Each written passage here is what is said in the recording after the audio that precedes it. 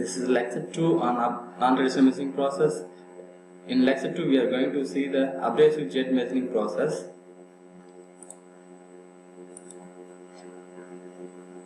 First, let me know what is the concept of material removal in abrasive jet machining.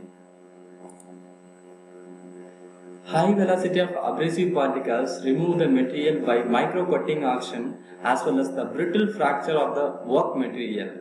The gas with abrasive particles uh, comes and strikes on the object, the micro action is takes places on that object and material is removed. The abrasive jet is nothing but it is a mixture of gas or air or abrasive particles.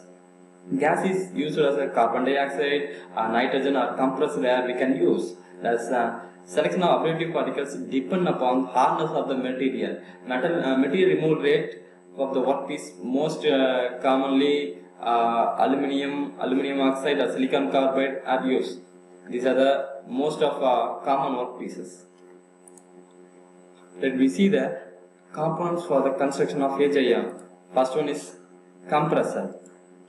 Uh, compressor uh, is used to pressurize the gas and next one is control valve. Control valve is used to uh, regulate the pressure and next one is filter. Filter it filters the gas before entering to the compressor and the mixing chamber. and pressure regulator. The uh, pressure gauges and pressure regulators they are used to control the pressure and regulate the flow rate of abrasive jet.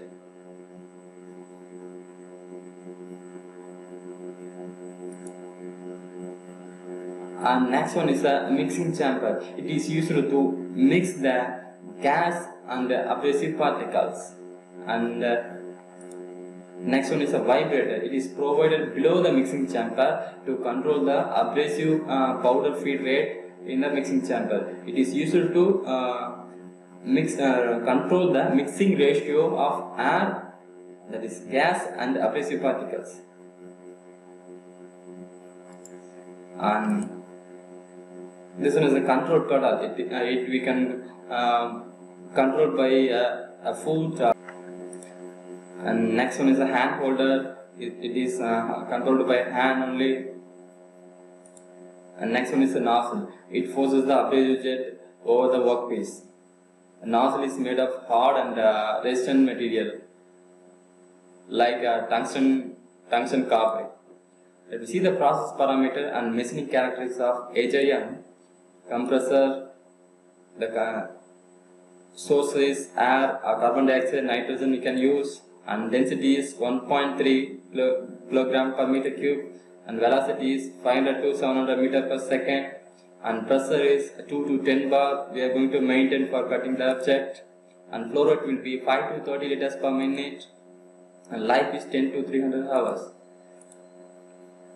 The abrasive, uh, abrasive particles for, for abrasive jet machining is uh, maybe aluminum oxide or silicon carbide. The shape is um, maybe a spherical or irregular shape. The size of the abrasive, abrasive particle should be minimum 10, maximum 50 microns and mass flow rate is 2 to 20 gram per minute. It should mix with the gas and abrasive jet. Uh, the velocity will be 100 to 300 meter per second and stand-up distance between the workpiece and the nozzle is 0.5 to 5 mm.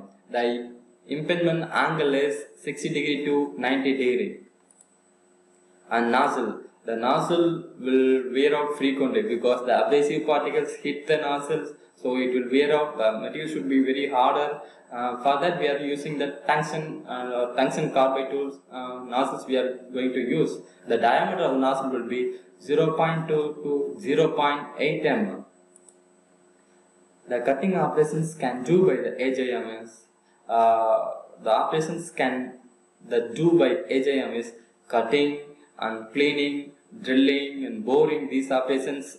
Uh, example for uh, abrasive jet machining. And let me see the advantages of AJM.